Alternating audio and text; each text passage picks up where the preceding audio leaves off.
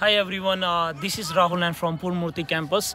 Uh, right now we are at uh, at our ground. Uh, our hostelers are playing football right now as um, they are done with their uh, classes around like five o'clock in the evening, and then after they uh, they have their some snacks, and after that like around five thirty they come to the ground. Right now it's around uh, six fifteen.